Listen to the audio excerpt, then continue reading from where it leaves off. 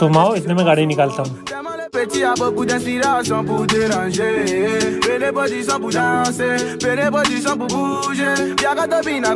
अरे ये दांत फाड़ फाड़ के क्यों आ रही जल्दी बाज क्या